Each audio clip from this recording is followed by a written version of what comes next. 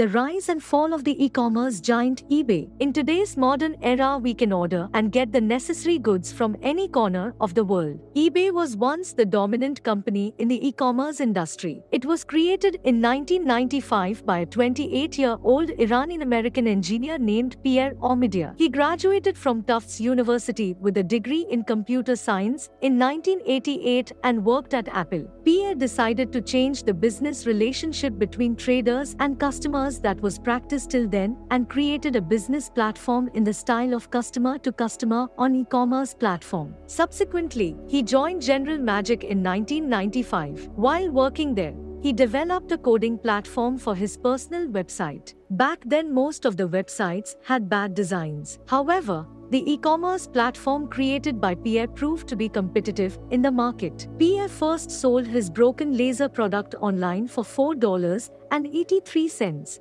Pierre named his site eBay because there was already a website called EchoBay. Sharing biotech related information on his site, he posted various stories about the Ebola virus. The readership for his site was also increasing. After that, he had to pay $250 per month to upgrade his website to cope with the internet traffic. However, Pierre received a 10% commission for auctioning items on eBay. Pierre resigned from his job at General Magic in 1996 and obtained a license to sell airline tickets through his website. In that year alone, 2,50,000 items were auctioned. By June 1997, the number of auctions exceeded 8 million. After turning eBay into Silicon Valley, Pierre sold 22% of his company to Benchmark Capital for $4.5 million. Benchmark said it would offer eBay a top CEO in return. Accordingly, in 1998, Margaret Whitman, who became famous in the business world, took over as CEO of eBay. He has experience working in corporations including Disney,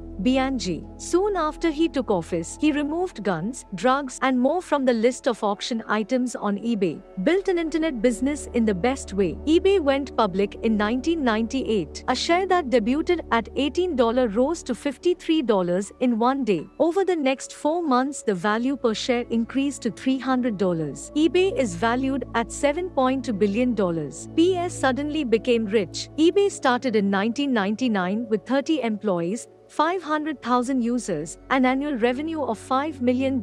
We need to understand the difference between e commerce companies like eBay and Amazon. Amazon is the best business website to buy everyday items like hardware, clothes, books, games, etc. In contrast, eBay is a site where historical and rare items are auctioned. A video of Marilyn Monroe smoking while watching a movie was auctioned for a huge sum. Angry wife sells an expensive sports car for just 50 pounds. Meanwhile, a bread sandwich with the face of the Virgin Mary fetched $28,000. eBay bought 50 companies in a short period of time after Margaret Whitman took over. PayPal in 2002, Skype in 2005, and the list of affiliates under eBay goes on. In 2008, when Margaret Whitman was at the helm, eBay dominated the e-commerce scene. After resigning her position, Margaret took over as the governor of California. eBay, under the leadership of John, who took over after that, made 8 billion in annual revenue, but Amazon generated 19 billion dollars in revenue during the same period. John's mismanagement led to the sale of Skype for 3 billion dollars, but Microsoft bought Skype from another company for 8 billion dollars. In 2014, Katie,